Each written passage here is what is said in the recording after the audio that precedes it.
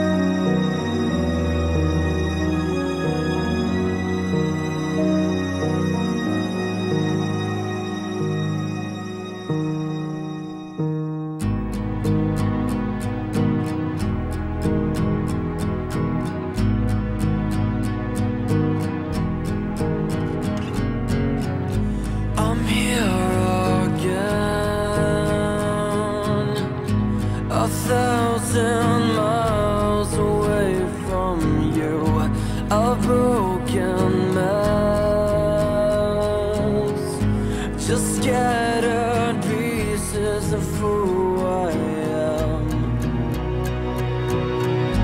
I tried so hard